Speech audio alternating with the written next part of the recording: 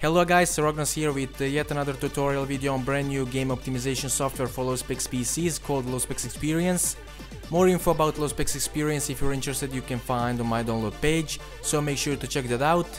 In today's video I'll be showing you how to optimize Far Cry 3 Blood Dragon for your low specs PC and improve performance. So basically everything you need to do is to download the setup file for low specs experience from my website, link is in the description, and then install it. I think this is the easiest way to do so, I won't go over everything in every single detail on how to install it, how to extract and stuff like that.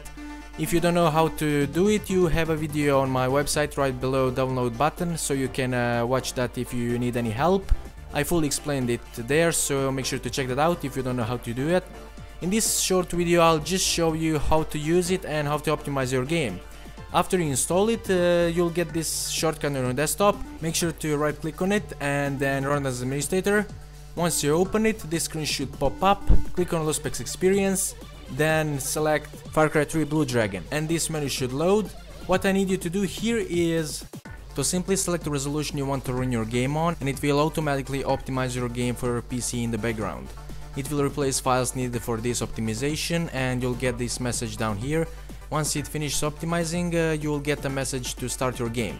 And at the very end of this video, if you are not happy with the results or the look of the graphics, you can always restore default game settings. Just click on restore default and it will restore default settings. Just like that. Also one more thing to note, if you have any problems, questions or anything to ask related to low specs experience, make sure to contact us through support tab and we'll gladly answer all of your questions, usually under 48 hours. And yeah, that's it for this video, like the video if you like it, dislike if you disliked it, leave a comment below, share with your friends, do whatever you want. Also make sure to support me on social media such as Facebook or Twitter, I don't know. Every like, comment is appreciated.